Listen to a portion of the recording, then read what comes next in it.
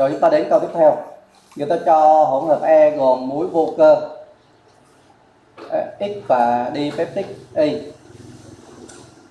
E này tác dụng được với nào hết đông nóng, thu được khí Z còn khi cho E tác dụng được với HCl thì thu được khí T và chất hữu cơ Q điều yêu cầu chúng ta là cho các phát biểu hỏi số phát biểu đúng. Bữa trước mình đã dạy cho bạn rồi. Chúng ta nhìn thấy muối amoni vô cơ mà này có ba ba oxy thì chúng ta dùng phương án trừ. Chúng ta sẽ tìm công thức của x này là CH8N2O3 ở đây chúng ta sẽ trừ đi hai axit. Một á là gì? Một á là chúng ta sẽ trừ đi C2CO3 hai là trừ đi HNO3 ở đây thầy sẽ trừ đi H2CO3 trước đi. Thì bây giờ thầy còn ngày máy C.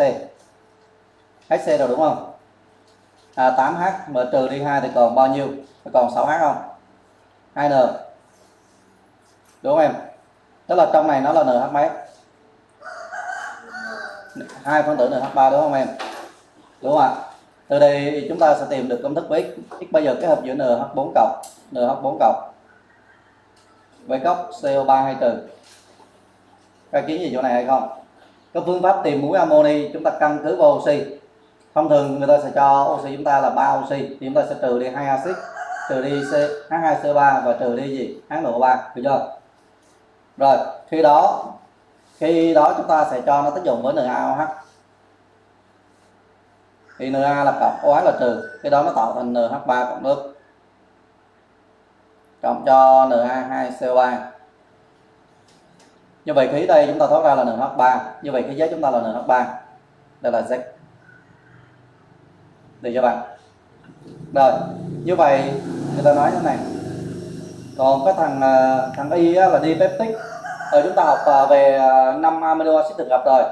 Gly ala va gì? Lysine và gì? Glutamic, đúng không? Hai, ba, năm, sáu, năm.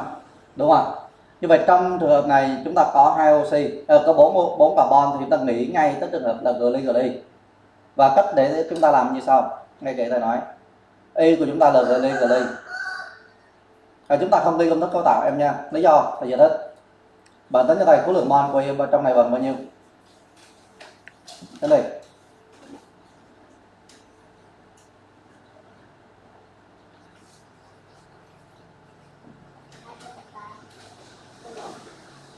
Bằng à, 132 các bạn tính gly 75 cộng 75 75 cộng 75 trừ đi 18 đúng bằng 132 đúng không?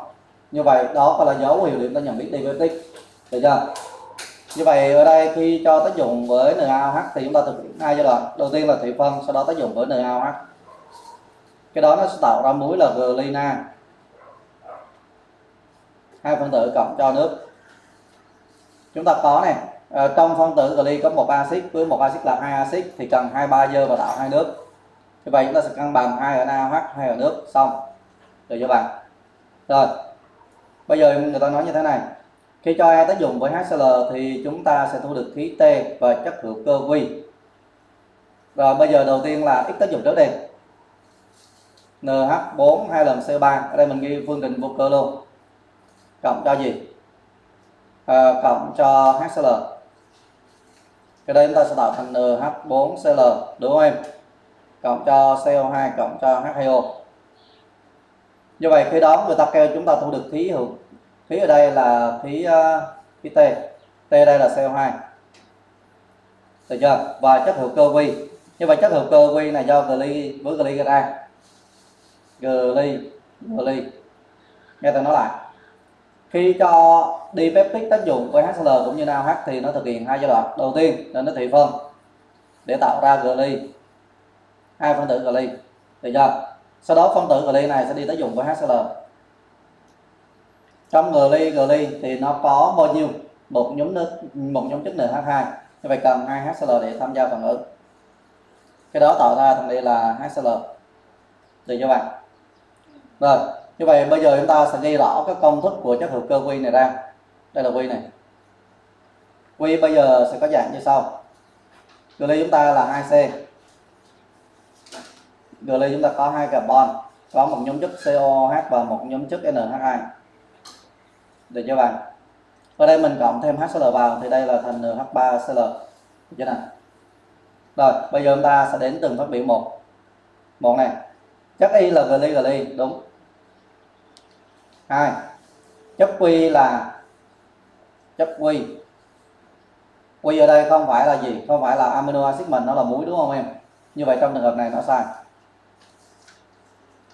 à, 3 à, chất Z là NH3 chất T là CO2 Z là NH3 đúng này. T là CO2 đúng này.